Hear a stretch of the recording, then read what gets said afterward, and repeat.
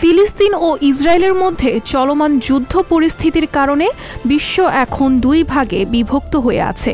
এই দ্বন্দ্বের রেশ গড়িয়েছে সব জায়গাতেই। ফিলিস্তিনিদের মুখ বন্ধ করার সাথে সাথে যারা ফিলিস্তিন নিয়ে কথা বলছেন, তাদের ওপরও নেমে আসছে অন্ধকার। ফিলিস্তিনকে সমর্থন করায় বেশ বিপাকে পড়েছিলেন মার্কিন সুপার মডেল জিজি হাদিদ। ইসরায়েলের পক্ষ থেকে তাকে সরাসরি হত্যার হুমকিও দেওয়া হয়েছিল। যুক্তরাষ্ট্রের নাগরিক হওয়ায় জিজে হাদিদ হয়তো ইসরায়েলি বাহিনীর হাতে পাকড়াও হয়নি এখনও কিন্তু এবার ফিলিস্তিনকে সমর্থন করায় গ্রেফতার হয়েছেন ফিলিস্তিনি গায়িকা দালাল আবু আমনে। উত্তর ইসরায়েলের নাজারেত শহর থেকে আবু আমনেকে গ্রেফতার করেছে ইসরায়েলি পুলিশ। বৃহস্পতিবার, উনিশ অক্টোবর, তুরস্কের সংবাদ সংস্থা আনাদোলোকে এক বিবৃতির মাধ্যমে বিষয়টি নিশ্চিত করেছে তারা। আমনেহের বিরুদ্ধে ইসরায়েলি পুলিশের অভিযান চলমান যুদ্ধে উস্কানি দেওয়ার অভিযোগে আটক করা হয়েছে তাকে। নিজের ইনস্টাগ্রাম অ্যাকাউন্টে দুটি পোস্টে গাজায় কাজ করা দাতব্য সংস্থায় তার কাজের বর্ণনা দিয়েছিলেন আমনে।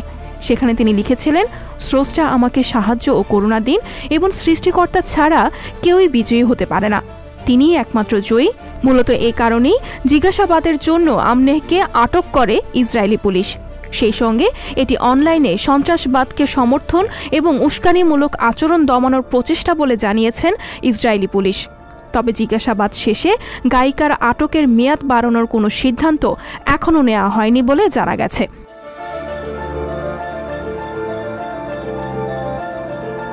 উনিশশো তিরাশি সালে ইসরায়েলের নাজারেত শহরে জন্মগ্রহণ করেন দালাল আবু আমনে।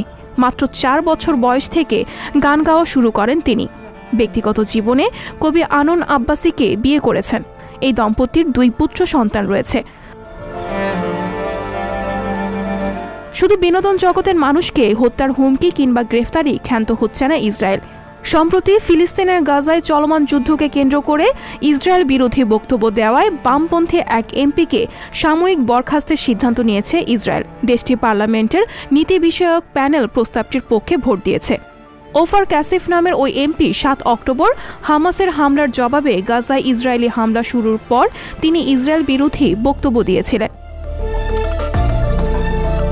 ফিলিস্তিনিদের সমূলে উৎখাত করতে সর্বোচ্চ শক্তির প্রয়োগ করেছে ইসরায়েল। স্বাধীনতাকামী ফিলিস্তিনি গোষ্ঠী হামাসকে নির্মূল করার নামে গাজা উপত্যকায় নির্বিচারে বিমান হামলা চালিয়ে অসংখ্য বেসামরিক মানুষকে হত্যা করেছে তারা। তাদের নৃশংসতা থেকে মুক্তি পায়নি হাসপাতালও আন্তর্জাতিক আইনে বৃদ্ধাঙ্গুলি দেখিয়ে নিধন যজ্ঞের বীরত্ব দেখাচ্ছে ইসরায়েলি বাহিনী। সঞ্জিতা শম্পা, সংবাদ প্রকাশ। সংবাদ, ফিচার ও অনুষ্ঠানের জন্য ভিজিট করুন সংবাদ প্রকাশের ওয়েবসাইট এবং যুক্ত থাকুন ফেসবুক পেজ ও ইউটিউব চ্যানেলের সঙ্গে।